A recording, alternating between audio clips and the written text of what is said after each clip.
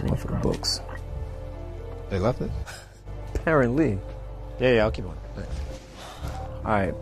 I spoke to the uh, neighbor across the street who was watching the house. The owner's out of town. She noticed that the back window was broken.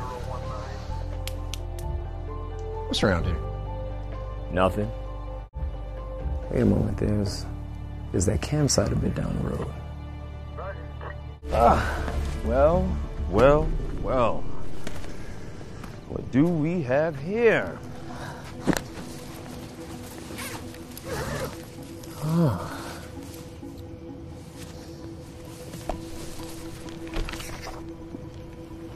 What you got?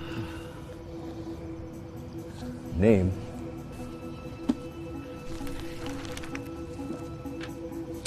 I don't know. Think they went into town or something?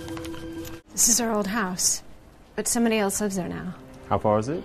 About 20 minutes. Why would he go back there? They said he was on his way to murder the man that killed your son. Someone named Trigg.